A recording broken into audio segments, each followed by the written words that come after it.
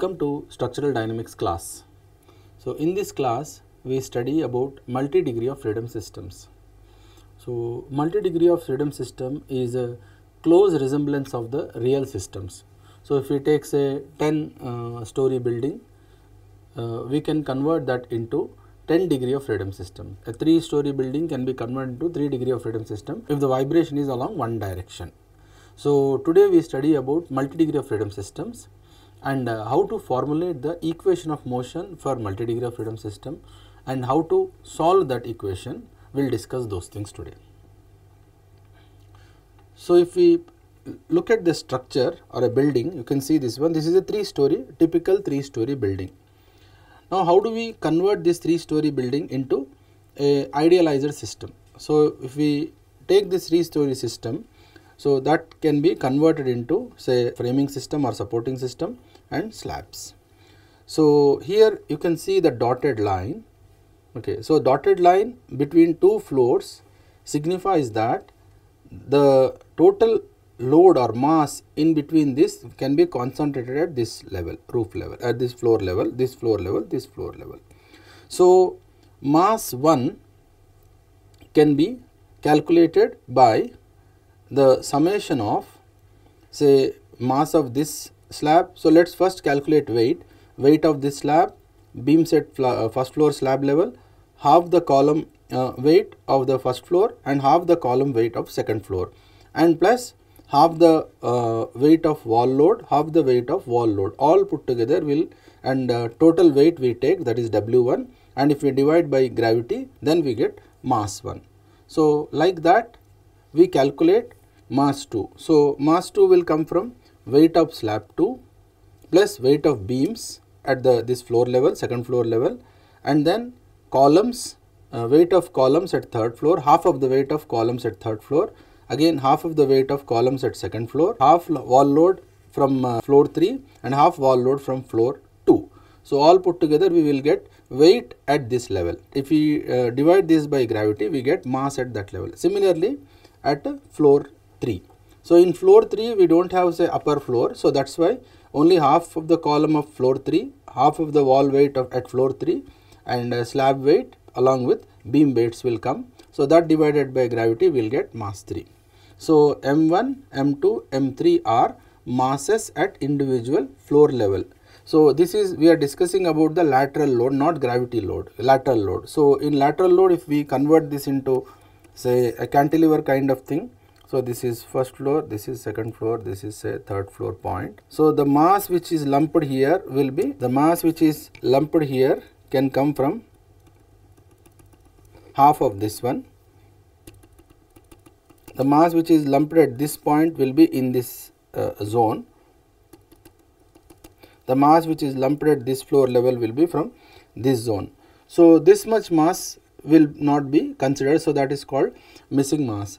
So, because the acceleration levels at that uh, location will be less even when you look at the vibration of that. So, it will be something like this. So, in this uh, acceleration levels will be less. So, that is why inertia force contribution in that zone will be less.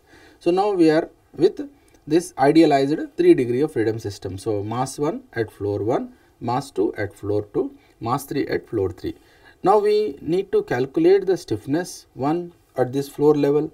So, we already know that in uh, the building with shear behavior, so each column will give a stiffness equivalent to 12 EI by L cube something like this. Okay, so by moving it with one unit, so the force required to move this by one unit is 12 EI by L cube or H cube, H cube. So, in this direction we have 4 columns. So, 4 columns will offer stiffness that will become 4 times EI by H cube. So, this E and I should be of the individual column in that direction. So, similarly we get K2 stiffness 2 stiffness 3 and then C1 is damping at floor level 1, C2 is damping at floor level 2, C3 is damping at floor level 3. So, now with this idealized 3 degree of freedom system, how do we convert this into a equation of motion? So, this is mass spring damper system. So, the same thing we are representing in mass spring damper system. So, mass 1 is represented here damping 1 and stiffness 1, mass 2 is represented here damping 2 and stiffness 2, mass 3 damping 3 stiffness 3. So, these are relative properties between two floors. So, if say the displacement at floor 3 and displacement of floor 2 will is same then there will be no force in between. So, displacement at floor 2 and displacement at floor 1 is same then there will be no force in between. So, like that we have represented in this one springs. So, if there is relative displacement between P2 mass 2 and mass 3 then only there will be force in this spring. If both the motions are same then there cannot be any force or resistance from the offered from the spring or say columns from there. So, in order to set this in motion, we take this assumption first that is displacement at point mass 3, displacement at point center of mass at point uh, mass 2 and mass 1. So, these are represented by displacement at mass 1, displacement at mass 2, displacement of center of mass 3. So, this u3 is greater than u2, u2 is greater than u1. So, that means this displacement is higher than this, so that there is elongation in this spring and u2 is greater than u1 so that there is elongation in this second spring. So, that means second floor columns and if u1 is greater than 0, so that means there is elongation. Now, if we take this into consideration and then draw free body diagram for each mass. So, let us see this mass 1. So, mass 1 is moving forward so with a displacement value u1. So, if this is moving with displacement value u1, we already know a D'Alembert's principle moving mass generates inertia force opposing the motion. So, motion is in forward direction, inertia force will be in the backward direction. So, what is the value of inertia force? It is m1 u1 double dot. And then because this mass is moved in the forward direction of this displacement, then there will be elongation in this spring. So, the elongation in this spring will force or will try to pull the mass back. So, this is a pulling force that is K1 U1. So, that pulling force that is the resistance force will be equivalent to stiffness times displacements and correspondingly damping force that is uh, proportional to the velocity. So, u1 is displacement, u1 dot is velocity and u1 double dot is acceleration. So, now velocity is c1 u1 dot so opposing. Now, this and then force p1 is acting here. Now, let us come to relative displacement between mass 2 and mass 1. Now, here if mass 2 is also moving by the same value as u1 then there not be any force in this spring. So, what we assumed here is u2 is greater than u1. So, if u2 is greater than u1, so that means there is elongation in spring 2. So, because there is elongation in spring 2, it will try to pull these two masses together again back. So, that is how this force is represented K2 multiplied by U2 minus U1. So, it is pulling these two masses towards each other. Uh, similarly, damping force that is C2 into U2 dot minus U1 dot. So, so these forces are represented. Okay, and again here moving mass generates inertia force opposing motion. So, this is inertia force at second mass level and then P2 is the external force applied at mass 2 level. And then when it comes to mass 3 again the same thing mass 3 and mass 2. So, K3 into U3 minus U2 C3 into U3 dot minus U2 dot. So, again this is inertia force. So, now we want to write this all these forces at one place. So, this first degree of freedom, second degree of freedom, third degree of freedom. So, let us write equation of equilibrium for each degree of freedom separately. Now, mass 3. So, force P3 is acting there. So, P3 let us represent this by P. So, P3 T okay, M3 U3 double dot K3 U3 minus U2 and C3 U3 dot minus U2 dot. So, M if, if I write equilibrium here M3 U3 double dot plus K3 U3 minus U2 C3 U3 dot minus U2 dot is equal to force uh, 3 acting at that level. Now, let us write the, the same thing for mass 2 that center of mass 2. So, this is P2. So, M2 U2 double dot K2 U2 minus U1, C2 U2 dot minus U1 dot.